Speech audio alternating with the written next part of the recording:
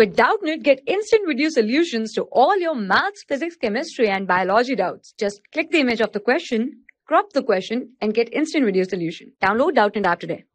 Hi, welcome to this video and the question is, is it possible to have a polygon the sum of whose interior angle is 9 right angles?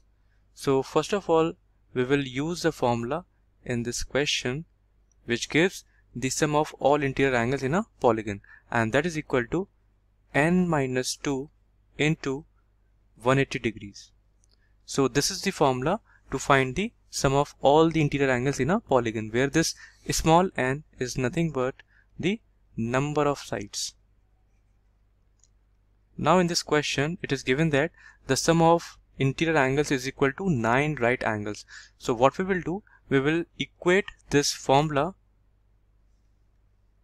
n minus 2 into 180 degree.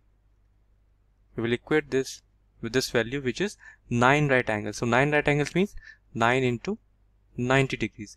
Now from this equation if the value of n comes out to be a natural number then we can say that it is possible to have a polygon like this.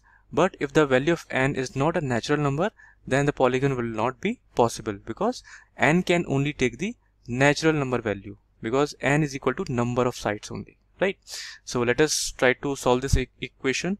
So this will give us so first of all you can cancel this uh, 180 degree by this 90 degree and it will be 2 here and this will be n minus 2 into 2 equals to 9 and this will give us n minus 2 equals to you can take this 2 to the RHS and this will be 9 by 2 and further simplifying this equation we will get n minus 2 is equal to 4.5 and n is equal to 6.5 taking this minus 2 to the RHS so n is coming out to be 6.5 and 6.5 is not a natural number.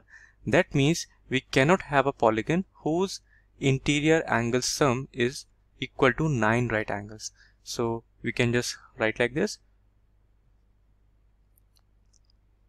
polygon is not possible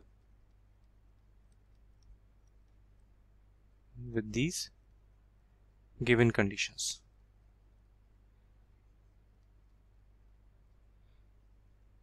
I hope you have understood this. Thank you. For class 6 to 12, IIT JEE and NEET level. Trusted by more than 5 crore students. Download Doubtnut app today.